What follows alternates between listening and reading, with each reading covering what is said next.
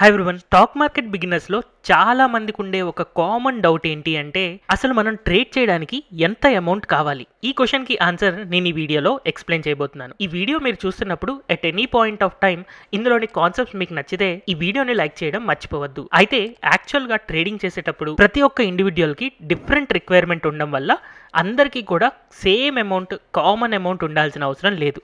అయితే మరి అసలు మీ పర్సనల్గా మీరు ఎంత అమౌంట్తో ట్రేడ్ చేయాలి అని తెలుసుకోవడం కోసం ఈ వీడియోలో నేను కొన్ని క్వశ్చన్స్ అండ్ వాటికి సంబంధించిన ఆన్సర్స్ డిస్కస్ చేయబోతున్నాను. వాటిని చూసిన తర్వాత మీరు ఎంత అమౌంట్తో ట్రేడ్ చేయొచ్చు అని మీకే అర్థమైపోతుంది. సో నా ఫస్ట్ క్వశ్చన్ ఏంటి అంటే అసలు మీకు ట్రేడింగ్ చేయడం వచ్చా? సో ఈ క్వశ్చన్కి చాలామంది ఎస్ నేను రోజు ట్రేడింగ్ చేస్తున్నాను బై చేస్తున్నాను సెల్ చేస్తున్నాను నాకు వచ్చు అని అనుకుంటారు. అయితే ఇక్కడ ట్రేడింగ్ చేయడం వచ్చా అని అంటే కేవలం బై చేయడం సెల్ చేయడం తెలియడం కాదు. స్టాక్ మార్కెట్ రిటర్న్స్లో మనం ప్రాఫిటబుల్గా ఉంటున్నామా లేదా అనేదే మన ట్రేడింగ్ వచ్చా లేదా అనేదాన్ని డిసైడ్ చేస్తుంది. ఈ వీడియో ఎండ్లో ఈ క్వశ్చన్ని మళ్ళీ ఒకసారి క్లియర్గా డిస్కస్ చేసుకుందాం. అయితే మీలో చాలా మందికి ఆల్రెడీ ట్రేడింగ్ గురించి ఐడియా ఉంది. అయితే మీరు ఇప్పుడు ఆల్రెడీ ట్రేడింగ్ కనుక చేస్తుంటే ఎన్ని స్టాక్స్ ట్రేడ్ చేయాలి అని అనుకుంటున్నారు? సో దీనికి ఆన్సర్ డిఫరెంట్గా ఉండొచ్చు. ఒకవేళ ఫైవ్ టు టెన్ స్టాక్స్ నేను ట్రేడ్ చేస్తాను లేదా ten to twenty stocks trade చేస్తాను అని చెప్పి డిఫరెంట్ ఆన్సర్స్ ఉండొచ్చు. అయితే కొంతమంది కేవలం ఒకటి లేదా రెండు స్టాక్స్తో మాత్రమే ట్రేడ్ చేస్తూ ఉంటారు. అలాంటి వాళ్ళు వాళ్ళ స్టాక్ పోర్ట్ఫోలియోని డైవర్సిఫై చేసుకోకపోతే వాళ్ళు హ్యూజ్ లాసెస్లోకి వెళ్ళడానికి చాలా ఎక్కువ ఛాన్సెస్ ఉంటాయి. అందుకనే minimum five to ten or ten to twenty stocks మనం సెలెక్ట్ చేసుకొని ట్రేడ్ చేయాల్సి ఉంటుంది. సో ఒకవేళ మీరు ఇప్పుడు ఇలా ఫైవ్ టు టెన్ కానీ టెన్ టు ట్వంటీ కానీ స్టాక్ సెలెక్ట్ చేసుకొని దాన్ని మీరు స్వింగ్ ట్రేడింగ్ చేస్తున్నారు అని అనుకోండి. సో అలాంటి స్వింగ్ ట్రేడింగ్ చేస్తున్నప్పుడు మీకు ఎంత రిటర్న్స్ రావచ్చు అని చెప్పి ఎక్స్పెక్ట్ చేస్తున్నారు? ఈ క్వశ్చన్కి ఆన్సర్ చాలామంది బ్లైండ్గా five percent ten percent per month చెప్తూ ఉంటారు. కానీ యాక్చువల్గా మీకు తెలుసా? వారెన్ బఫెటే తన యొక్క ఇన్వెస్ట్మెంట్ ద్వారా ఇయర్కి ట్వంటీ ఫోర్ పర్సెంట్ రిటర్న్ సంపాదించాడు. అంటే కేవలం మంత్కి టూ పర్సెంట్ రిటర్న్స్ మాత్రమే ఎర్న్ చేశాడు.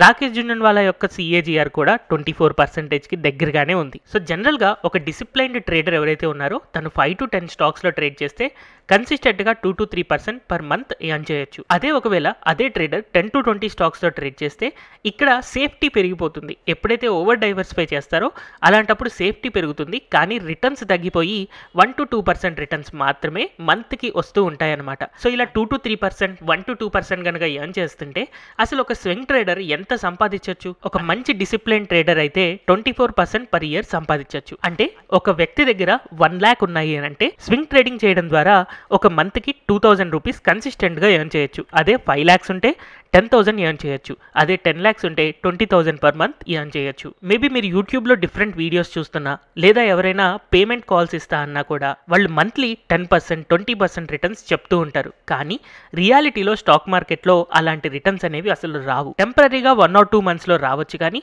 majority of the time plus minus రెండింటిని కన్సిడర్ చేసి చూస్తే ఇయర్కి ట్వంటీ ఫోర్ పర్సెంట్ రిటర్న్స్ కనుక ఏమైనా ఎర్న్ చేయగలుగుతున్నామంటే మనం ఒక మంచి స్వింగ్ ట్రేడర్ అనే అనుకోవచ్చు. సో మీరు ఇక్కడున్న క్యాలిక్యులేషన్స్ ప్రకారం ఒకవేళ నెలకి పదివేలు సంపాదించాలి స్వింగ్ ట్రేడింగ్ చేసి అని అనుకుంటే మీకు ఫైవ్ ల్యాక్స్ క్యాపిటల్ ఉండాలి. అదే ఒకవేళ మీరు నెలకి లక్ష రూపాయలు సంపాదించాలి అని అనుకుంటే మీకు ఫిఫ్టీ ల్యాక్స్ దాకా క్యాపిటల్ ఉండాల్సి ఉంటుంది. సో యూట్యూబ్లో వీడియోస్ చూసే వాళ్ళు మోస్ట్లీ స్టాక్ మార్కెట్ బిగినర్స్ ఉంటారు.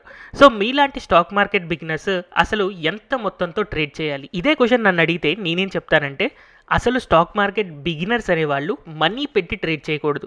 ఫస్ట్ వాళ్ళు నేర్చుకోవడం మీద కాన్సన్ట్రేట్ చేయాలి. బట్ ఇక్కడ ఒక చిన్న ప్రాబ్లం ఏంటి అంటే నేర్చుకునేటప్పుడు లేదా పేపర్ ట్రేడింగ్ చేసేటప్పుడు అన్నీ మనం అనుకున్నట్టుగానే జరుగుతూ ఉంటాయి. కానీ రియల్ మనీ పెట్టి ఎప్పుడైతే మనం ట్రేడ్ చేస్తామో అలాంటప్పుడు మనం అనుకున్న దానికి అన్నీ కూడా ఆపోజిట్లో జరుగుతూ ఉంటాయి. అందుకే ఈ వీడియోలో నేను అడిగిన క్వశ్చన్ ఫస్ట్ క్వశ్చన్ ఏదైతే ఉందో మీకు అసలు ట్రేడింగ్ చేయడం వచ్చా అనేది ఆ క్వశ్చన్ చాలా చాలా ఇంపార్టెంట్. మీకు నిజంగా ట్రేడింగ్ చేయడం వస్తేనే అలాంటప్పుడే మనీ పెట్టి ఎర్న్ చేయాల్సి ఉంటుంది. మరి మీరు మీ ఓన్గా మీకు ట్రేడింగ్ చేయడం వచ్చా లేదా అనేది ఎలా తెలుసుకోవాలి? దీనికి నా ఎక్స్పీరియన్స్ నుంచి నేను ఒక చిన్న ఎగ్జాంపుల్ మీకు చెప్పాలనుకుంటున్నాను. ఒకవేళ మీరు ఈ స్టైల్ కనుక నచ్చితే మీరు దీన్ని ఫాలో అవ్వచ్చు. సో ఫస్ట్ ఆఫ్ ఆల్ మీ దగ్గర ఒక వన్ ల్యాక్ రూపీస్ ఉన్నాయని అనుకోండి. ఆ వన్ ల్యాక్లో ఫిఫ్టీ పర్సెంట్తోనే ట్రేడ్ చేయండి. అంటే యాభై వేలు పెట్టుకొని ఒక ఐదు నుంచి పది స్టాక్స్ని బై చేసుకొని వాటిని రొటేట్ చేస్తూ ట్రేడ్ చేస్తూ ఉండండి. And remaining fifty percent amount తీసుకెళ్ళి ఇండెక్స్ ఫండ్లో పెట్టండి. అంటే నిఫ్టీ ఫిఫ్టీ ఇండెక్స్ ఫండ్ కానీ Nifty next fifty index fund కానీ ఏ ఇండెక్స్ ఫండ్లో అయినా పెట్టండి లేదా ఏదైనా మ్యూచువల్ ఫండ్లో పెట్టండి. సో నెక్స్ట్ ఎవ్రీ మంత్ మీరు ట్రేడ్ చేసిన తర్వాత బ్రోకరేజ్ ఛార్జెస్ కూడా తీసేసిన తర్వాత మీకు ఎంత ప్రాఫిట్ వస్తుంది అనేది చూడండి. ఒకవేళ మీరు ఫస్ట్ మంత్ కనుక ఒక ఫైవ్ థౌజండ్ రూపీస్ ఎర్న్ చేశారు అని అనుకుందాం. అయితే మీ మ్యూచువల్ ఫండ్స్లో మీరు ఇన్వెస్ట్ చేసిన డబ్బులు కేవలం రెండు వేలు మాత్రమే పెరిగాయి. అలాంటప్పుడు మీరు ఏం చేయొచ్చు అని అంటే అంతకుముందు ఫిఫ్టీ పర్సెంట్ మ్యూచువల్ ఫండ్స్లో పెట్టారు కదా అందులో నుంచి టెన్ పర్సెంటేజ్ తీసేసి ట్రేడింగ్కి యూజ్ చేయండి. సో ఇక్కడ ఇప్పుడు ట్రేడింగ్ కోసం మనం అంతకుముందు ఇన్వెస్ట్ చేసిన ఫిఫ్టీ థౌజండ్ ప్లస్ ఇంకొక టెన్ థౌసండ్ రూపీస్ కూడా మన దగ్గర ఉంటాయి. ఈ టెన్ థౌసండ్ రూపీస్ అనేది మనం మ్యూచువల్ ఫండ్స్ నుంచి తీసుకొచ్చిన అమౌంట్. సో మనం ఫస్ట్ మంత్లో ఏం చేసాం? ఇక్కడ జనవరి మంత్లో మనం అబ్జర్వ్ చేస్తే ఫైవ్ పర్సెంట్ రిటర్న్స్ మనకి ట్రేడింగ్లో వచ్చాయి. టూ పర్సెంట్ రిటర్న్స్ మనకి మ్యూచువల్ ఫండ్స్లో వచ్చాయి. మ్యూచువల్ ఫండ్ కంటే మనం ఎక్కువ సంపాదిస్తున్నామని టెన్ పర్సెంట్ అనేది ట్రేడింగ్కి షిఫ్ట్ చేసుకున్నాము.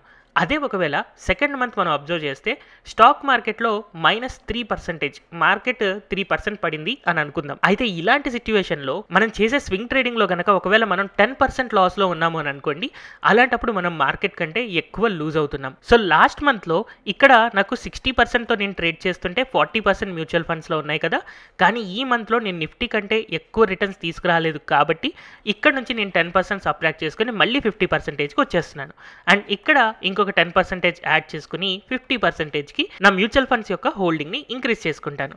సో ఇలా మనం చేస్తూ ఉంటే మనం మ్యూచువల్ ఫండ్ నుంచి మొత్తం డబ్బులు స్వింగ్ ట్రేడింగ్కి ఎప్పుడు తీసుకోగలము అంటే సక్సెస్ఫుల్గా ఫైవ్ మంత్స్ కన్సిస్టెంట్గా మనం ట్రేడింగ్ ద్వారా ప్రాఫిటబుల్గా ఉండి అది కూడా నిఫ్టీ ఫిఫ్టీ కంటే ఎక్కువ రిటర్న్స్ తెచ్చుకుంటే అలాంటప్పుడు మన పూర్తి మనీ హండ్రెడ్ పర్సెంట్ మనీ అనేది ట్రేడింగ్ చేసే విధంగా వస్తుంది. అదే ఒకవేళ మనం ఐదు నెలలు కంటిన్యూస్గా డబ్బులు పోగొట్టుకుంటున్నాము లేదా మార్కెట్ రిటర్న్స్ కంటే తక్కువ తక్కువ రిటర్న్స్ వస్తున్నాయి అని అంటే ఆ డబ్బులన్నీ కూడా మ్యూచువల్ ఫండ్లోకి వెళ్ళిపోతాయి.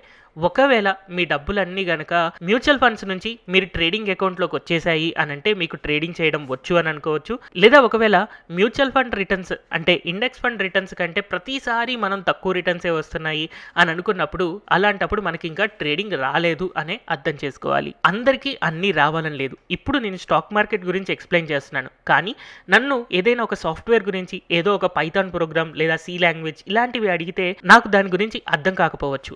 అందుకని స్టాక్ మార్కెట్ అనేది ప్రతి ఒక్కళ్ళకి తెలియాల్సిన అవసరం కూడా లేదు. మనం మన డబ్బుల్ని గ్రో చేసుకోవడానికి మ్యూచువల్ ఫండ్స్ ద్వారా కూడా మన ఇన్వెస్ట్మెంట్ పెంచుకోవచ్చు. బట్ స్టాక్ మార్కెట్ బిజినెస్లో around ninety nine percent people మార్కెట్లో నిఫ్టీ ఇచ్చే రిటర్న్స్ కూడా ఎర్న్ చేస్తూ ఉండరు. అందుకే నేను స్టార్టింగ్లో అడిగిన క్వశ్చన్ అసలు మీకు ట్రేడింగ్ చేయడం వచ్చా అనే క్వశ్చన్ చాలా చాలా ఇంపార్టెంట్ సో ఈ ఫిఫ్టీ ఫిఫ్టీ లాజిక్ని యూస్ చేసుకుంటూ మీకు అసలు ట్రేడింగ్ చేయడం వచ్చా రాదా అని తెలుసుకున్న తర్వాత అసలు మీరు స్వింగ్ ట్రేడింగ్ కోసం ఎంత మనీ పెట్టుకొని ట్రేడ్ చేయాలి అనేది మీకు చాలా ఈజీగా అర్థమైపోతుంది. అండ్ అలాగే ఈ వీడియోలో నేను చెప్పిన calculation two percent per month ఆధారంగా అబ్జర్వ్ చేసినా కూడా ఒకవేళ మీరు టెన్ థౌసండ్ రూపీస్ ఎర్న్ చేయాలి అని అనుకుంటే మీకు మినిమం ఫైవ్ ల్యాక్స్ క్యాపిటల్ ఉండాల్సి ఉంటుంది. అదే ఒకవేళ ట్వంటీ థౌసండ్ ఎర్న్ చేయాలి అని అనుకుంటే టెన్ ల్యాక్స్ క్యాపిటల్ ఉంటే మనం స్వింగ్ ట్రేడింగ్లో కన్సిస్టెంట్గా ప్రాఫిటబుల్గా ఉండొచ్చు. Hope as a stock market beginner మీరు ఎంత అమౌంట్తో ట్రేడ్ చేస్తే ఎంత రిటర్న్స్ వస్తాయి? అండ్ అసలు మీకు ట్రేడింగ్ చెయ్యాలి అని అనుకుంటే మార్కెట్ని బీట్ చేస్తూ మనం ట్రేడ్ చేయగలుగుతున్నామా లేదా అనేది ఎలా తెలుసుకోవాలో అర్థమైంది అని అనుకుంటున్నాను. Thank you everyone for watching this video